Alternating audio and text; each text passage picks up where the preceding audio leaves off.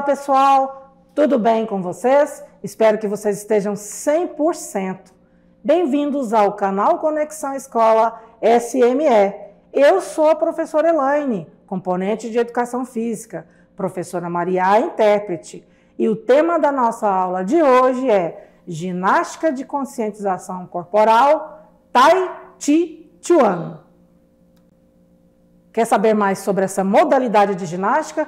Então venha agora aprender com a gente no Conexão Escola. Vamos iniciar a nossa aula trazendo para vocês o conceito de ginástica de conscientização corporal. A ginástica de conscientização corporal é uma prática de movimentos suaves e lentos com posturas e conscientização de exercícios respiratórios voltados para a obtenção de uma melhor percepção sobre o próprio corpo. Quais são as modalidades da ginástica de conscientização corporal? Tai Chi Chuan, massagem biodinâmica, pilates, yoga, alongamento, entre outras. E hoje nós vamos falar especificamente de Tai Chi Chuan. Quando surgiu o Tai Chi Chuan? Surgiu na China entre os séculos 8 e 13 como uma arte marcial interna derivada do Kung Fu. Herdou milênios de cultura sobre movimento corporal, saúde, circulação de energia e meditação. Conceito de Tai Chi Chuan é uma prática física e mental que consiste na realização de exercícios e movimentos lentos e em silêncio. Quais são os princípios? Quietude concentrada. Você tem que ter atitude mental correta. Respiração. A energia da vida. O praticante de Tai Chi Chuan regula a respiração em harmonia com o movimento do seu corpo para obter saúde. Qual é o objetivo dessa ginástica? Proporcionar a movimentação da energia do corpo estimular a consciência corporal, a concentração e a tranquilidade.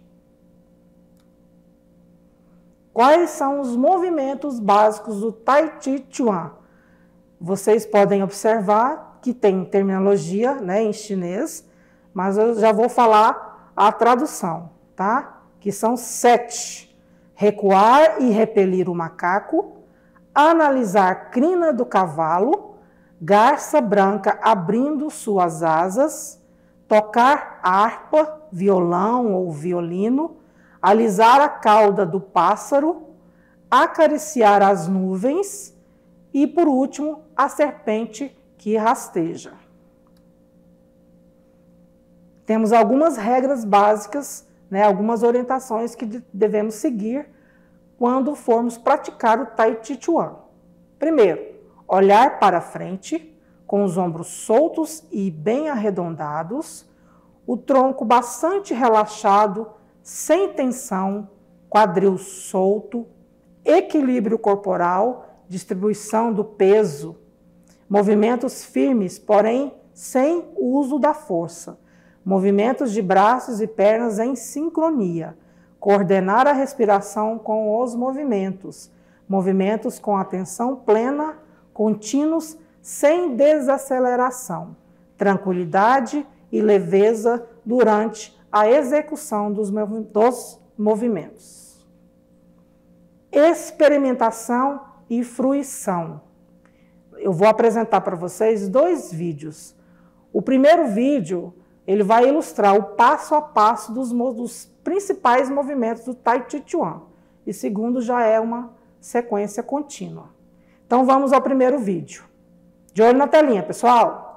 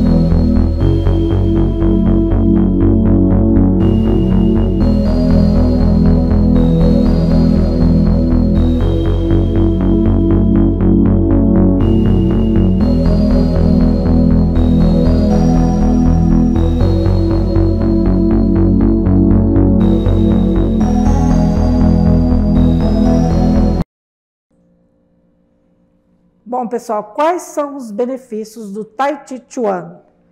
Ele diminui a pressão arterial, revigora o corpo e a mente, fortalece os músculos, promove o senso de comunidade, incentiva a serenidade e melhora o equilíbrio no sentido amplo, holístico. Bom, pessoal, chegamos ao final da nossa aula e agora é o momento da nossa revisão.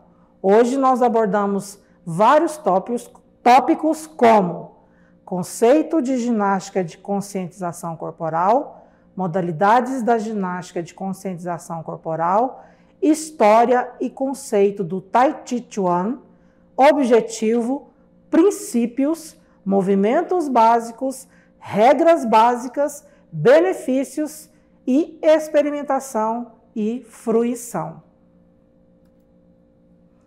Bem, pessoal, espero que vocês tenham gostado da aula e aprendido um pouco mais sobre essa modalidade de ginástica Tai Chi Chuan. Eu vou praticar. Até mais, pessoal. Tchau!